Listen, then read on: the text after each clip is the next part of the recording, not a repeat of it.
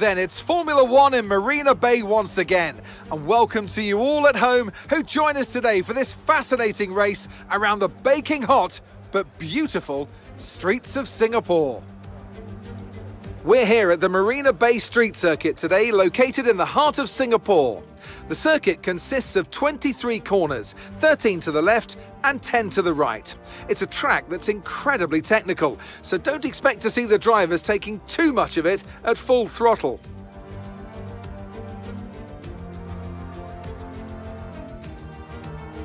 It's time to see how our drivers are stacking up after yesterday's exciting qualifying session. An immense lap from Lewis Hamilton yesterday puts him on pole position. And the smooth operator Carlos Sainz completes the front row. As we continue through the rest of the grid today, we have Bottas, Russell, Esteban Ocon, and Magnussen. Norris, they've taken a grid penalty. Gasly, Tsunoda, and Guanyu Zhou. Stroll, Fernando Alonso. They'll be starting further back after an earlier grid penalty. Moore and Ricciardo. Albon, Vettel, they've taken a grid penalty. Nicholas Latifi and Sergio Perez. Verstappen and Charles Leclerc completes today's grid order. And with lights out just moments away, it's time to go down to the track. I'm joined again today by none other than Natalie Pinkham. Tell me, Natalie, obviously there's a lot of development work that goes on with these cars between Grand Prix.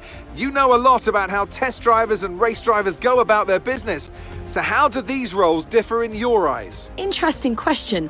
There are two very different mindsets. In the old days, of course, they used to cover up to 15,000 kilometres of testing in a season. And that role would be more about working for the team, trying to help them improve the car and drive as systematically as possible so that the data could be analysed in the most consistent way. When lining up on the grid for a race, however, a race driver's frame of mind is all about what they can get out of the situation on that day, and the car is the tool to help them achieve those goals.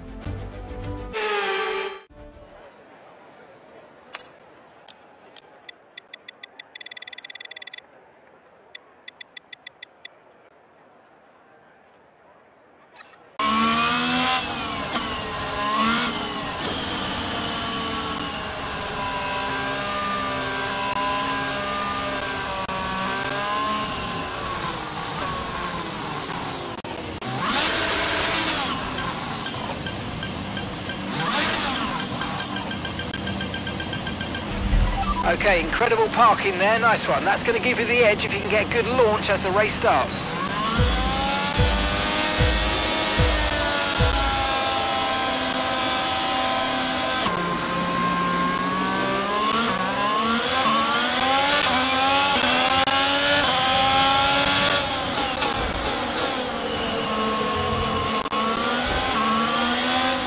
Okay, we're monitoring somewhere on the internal combustion engine. Be aware that we're going to start to see a loss of power.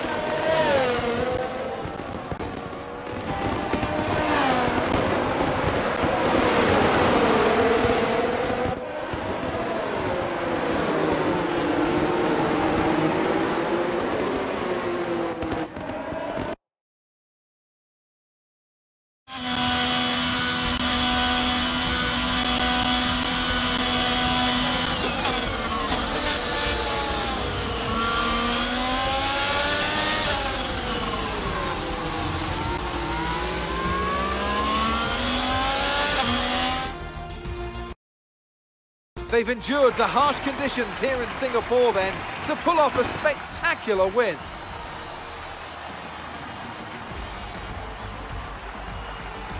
So Natalie, what do you think helped them deliver this result? I think we'll chalk this one up as a deft touch on the brake pedal. That's allowed them to challenge down the inside in the braking zones and ultimately, if you do that often enough, you'll end up winning the race. It was great to watch as well, wasn't it? Forget strategy, forget tyre management. Who doesn't love a good old-fashioned scrap?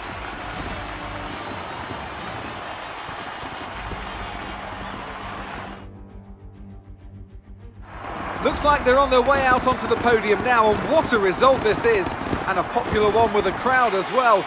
Great stuff to see the Alfa Romeo team on top here today.